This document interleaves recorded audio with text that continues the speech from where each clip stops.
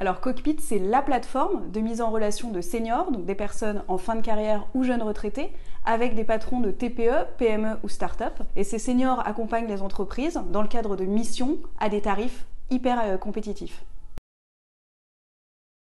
Trois quarts des chefs d'entreprise de TPE, PME expriment le besoin d'être plus et mieux accompagnés. Et en fait, les offres de conseils existantes, euh, bah, ils les jugent comme euh, chères et inadaptées à leurs problématiques de petites et moyennes entreprises.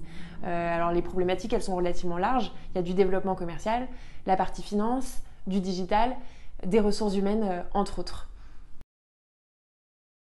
On s'est rendu compte chaque année qu'il y avait 120 000 Français, anciens cadres, anciens chefs d'entreprise, qui partaient à la retraite euh, et qui avaient l'envie de continuer à s'investir dans des projets, conserver du lien social et avoir de l'impact auprès euh, d'entreprises. C'est des personnes qui ont plus de 30 ans d'expérience professionnelle, des vraies compétences et donc euh, énormément à transmettre.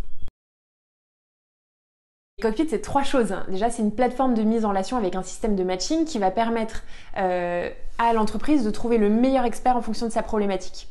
La deuxième chose, c'est un tarif hyper accessible et encadré à chaque fois avant le début de la mission. Et la dernière chose, c'est que Cockpit va s'occuper pour l'entreprise et l'expert de toute la partie administrative et euh, financière qui sont liées à la mission.